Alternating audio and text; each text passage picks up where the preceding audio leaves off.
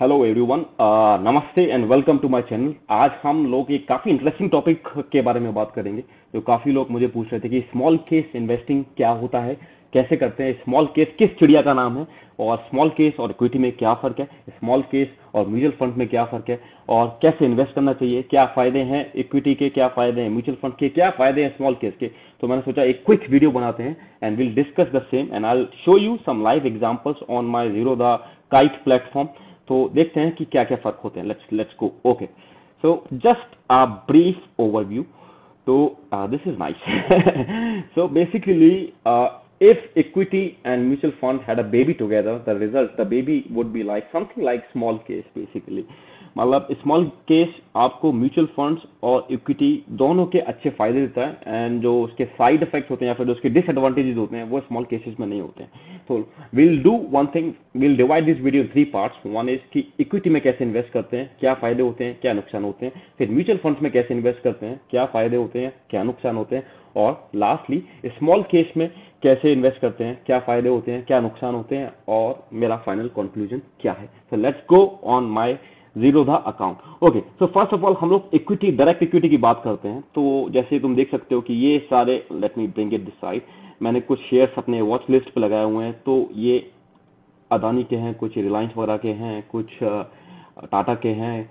सो so basically अगर मैं ये शेयर मार्केट से डायरेक्टली खरीद रहा हूँ if I am if I am if I am buying the share directly from the market this is called direct equity investing इसके फ़ायदे क्या है कि आपको के पास फ्लेक्सिबिलिटी बहुत ज़्यादा है कि आप जो खरीदना चाहें वो खरीद सकते हैं जो बेचना चाहें वो बेच सकते हैं। फॉर एग्ज़ाम्पल मैं तुम लोगों को दिखा रहा हूँ अगर मुझे न, न, कोई सस्ता सा शेयर खरीदना ओके सेंट्रल बैंक का एक शेयर खरीदना मैं यहाँ पे जाएगा। मैंने क्वांटिटी डाला one and I just put it buy buy हो गया।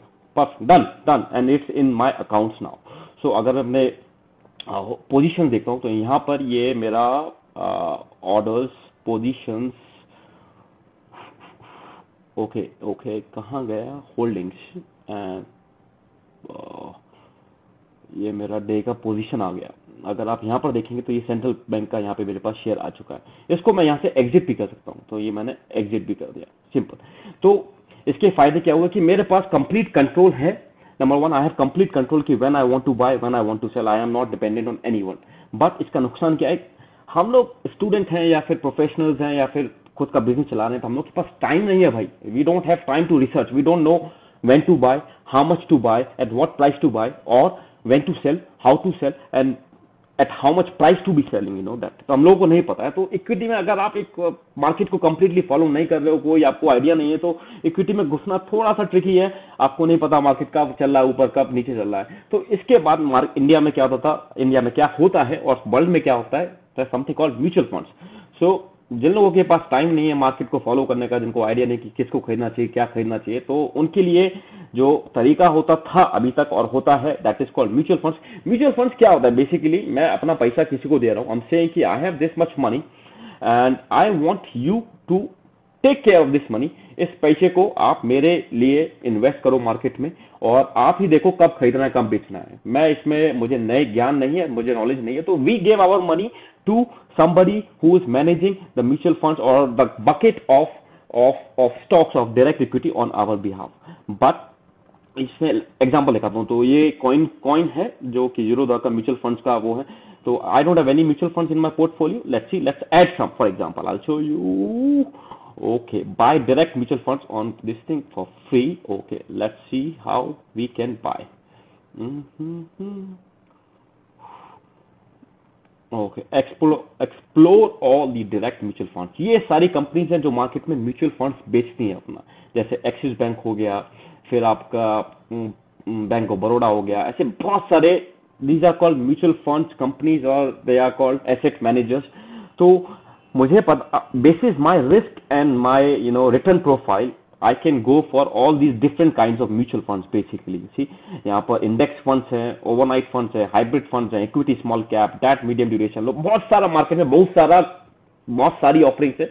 According to your risk profile you can select one so for example मुझे चाहिए इक्विटी लार्ज कैप में। मैं यहाँ पर जाता हूँ ग्रोथ फंड में और यहाँ पे जाके मैं बाय और सेल कर सकता हूँ।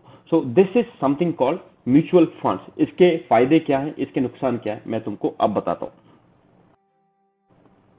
तो इसके फ़ायदे, नुकसान क्या नम ये क्या हो गया?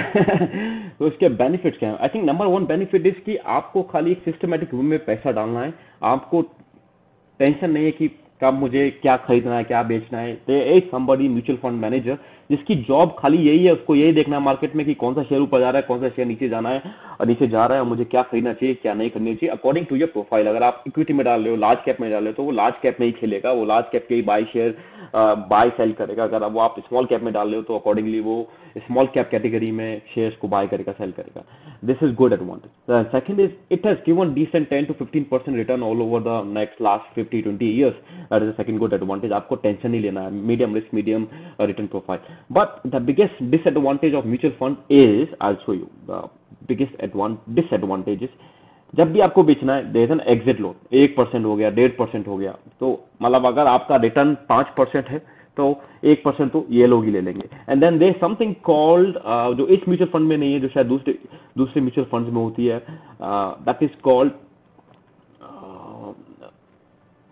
something called management fee जिसमें again they will take one percent और हाफ़ परसेंट और something just to manage a mutual fund ताकि उनको अपना ऑफ़िस चलाना है उनकी अपनी रिसर्च टीम बैठी है उनके अपने लोग हैं एम्प्लॉयज़ है तो वो सब आपका आपको खर्चा करना पड़ता है right so there is an exit load here and generally किसी किसी म्यूचुअल फंड्स में आपका uh, और यू नो एक्सपेंस रेशियो जो बोलते हैं एक्सपेंस रेशियो भी होता है आई uh, थिंक इसमें है क्या? नहीं है।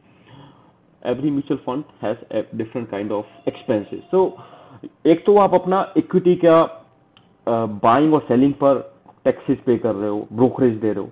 दूसरे, उसके ऊपर से भी आप इन म्यूचुअल फंड के द्वारा आप बेसिकली जो उनके एक्सपेंस रेशियोज हैं एग्जिट लोड एंट्री लोड्स पे कर रहे हो तो वो वो आपका काफ़ी ज़्यादा मार्जिन कट कर लेता है। Second thing is you don't know how this mutual funds are huge इनका जो एसेट अंडर मैनेजमेंट होता है 500 करोड़ हज़ार crore they are not very nimble uh, by nimble i mean that they cannot move their money easily between shares or between different kind of uh, stocks or different categories.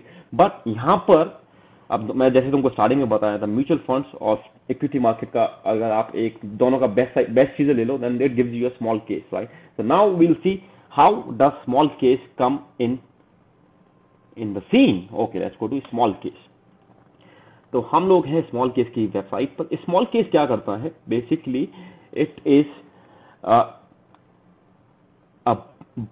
और group of all the different all categorize according to some themes. And just we are on the small cases. So basically small case kya it takes best of both equity world and mutual fund. So instead of uh, the asset managers or the mutual funds manager buying in on behalf of you small case mein they have kind of created different different buckets of stocks. जो कि एक mutual fund से compare कर सकते हो but directly mutual fund नहीं, क्योंकि आप डायरेक्टली खरीद रहे हो और बेच रहे हो। फॉर एग्ज़ाम्पल आपको लगता है कि यार इंडिया में इलेक्ट्रिक मोबिलिटी भाई नेक्स्ट पाँच दस साल में फोड़ने वाला है। तो उन्होंने एक स्मॉल केस बनाया हुआ है इलेक्ट्रिक मोबिलिटी के नाम से, जिसमें मिनिमम अमाउंट है forty seven thousand rupees investment के लिए, और उनको ये सारी इसके अंदर कंपनीज़ है स्टॉक्स है, जो कि एक बकेट के अंदर एक बकेट के अंदर आप एक बार में खरीद सकते हो और एक बार में बेच सकते हो। द गुड पार्ट इज़ कि ये हर एक तीन महीने में रीबैलेंस होता है। आप यहाँ पे इसका मार्केट कैपिटलाइजेशन देख सकते हो। लार्ज कैप में 40 परसेंट है मिड कैप में 30 है स्मॉल कैप में 29 परसेंट है राइट ओवरव्यू तो यहाँ पर इसका बेसिकली जो है पूरा थीम है इलेक्ट्रिक मोबिलिटी का, उसका क्या रेशनल है? वो डाला हुआ है। ये इसके फंड मैनेजर है Windmill Capitals basically they are not investing on behalf of you आपके बिहाफ पर आप उनको पैसा नहीं दे रहे हो। आप डायरेक्टली इन्वेस्ट कर रहे हो but they are just guiding you right it's like your uncle और आंटी हम बोलते हैं कि ये चार पाँच शेयर खरीद लेना। तो उस हिसाब से ये एक बकेट बना हुआ है स्मॉल केसेस का। इसमें थर्टीन स्टॉक्स है और ये क्वार्टरली मतलब हर एक तीन महीने में इसका रिव्यू होता है। और आप उसको रीबैलेंस कर सकते हो। मीन अगर तीन महीने बाद उनको लगता है ये स्टॉक नहीं चल रहा है ये स्टॉक चल रहा है ये स्टॉक अच्छा कर रहा है ये स्टॉक बेकार कर रहा है तो दे विल एड और रिमूव बट सब कुछ आपके कंट्रोल में ही है। जो शेयर्स भी हैं वो आपके डीमेट अकाउंट में है। आपको आपको as a mutual fund holding नहीं दिखेगा। आपको एज अ जैसे तुम यहाँ पर देख सकते हो आपको एज अ नॉर्मल इक्विटी का होल्डिंग दिखेगा आपके अकाउंट में। So this is it and good part is let's come so there are different kind of uh, small cases according to your risk appetite और अकॉर्डिंग टू योर थीम कि आपको लगता है कि यार नहीं इलेक्ट्रिक मोबिलिटी ऊपर जाएगा या फिर इंडिया का एनर्जी सेक्टर ऊपर जाएगा या फिर इंडिया का एग्रीकल्चर सेक्टर ऊपर जाएगा। तो तुम यहाँ पर देख सकते हो कि काफ़ी सारे टॉप हंड्रेड स्टॉक्स हैं ग्रोथ इनकम स्टॉक्स हैं, जो आपको लगता है तो आप डायरेक्ट फार्मा आपको लगता है कि फार्मा ऊपर जाएगा तो आप फार्मा सेक्टर में जाकर आप यहाँ पर इनका फाइव ईयर सी भी है मीडियम वॉलिटिलिटी भी है तो आप उसके पैसे पे जाकर आप उसको मंथली एस भी कर सकते हो, ऐसा कर सकते हो। तो I think this is a very good tool because इसमें कोई एंट्री लोड मतलब शायद इनका सौ रुपए या एक सौ अठारह रुपये का एक बार आपको फ़ीस देना पड़ता है but apart from that you are directly managing a portfolio and you I think it's it's a much better way than investing in mutual fund because आपका जो एग्जिट लोड एंट्री लोड और आपका account में चार पाँच दिन बाद पैसा आता है। That is I don't understand यार। Maybe at later stage when you are your risk capital goes down you can invest in mutual fund but at the moment if you are अगर आप अपने ट्वेंटीज में हो, अगर आपने अभी नई नई जॉब नई नई स्टार्टिंग सेविंग चालू किया तो आप इनमें से कोई से भी स्मॉल केसेस को देख सकते हो।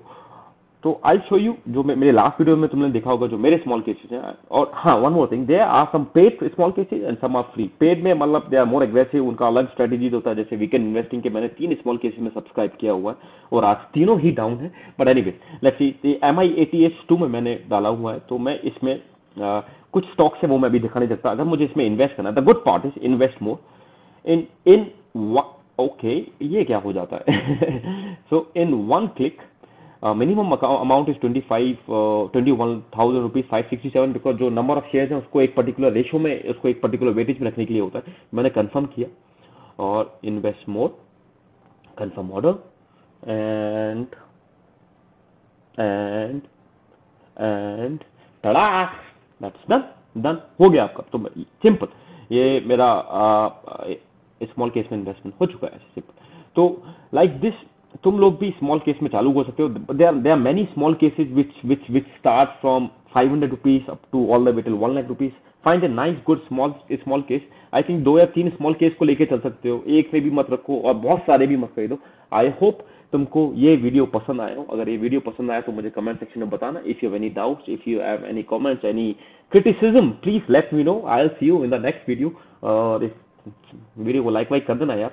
एनी वेज क्यों वेश I'll see you later on by the way one more thing my portfolio current portfolio is up by 5.7 percent आज थोड़ा सा मार्केट स्लो था लो था तो थोड़ा सा डाउन है। But I am not worrying because I am looking for a horizon of next two three five years any I see you in the next video till then take care keep investing keep saving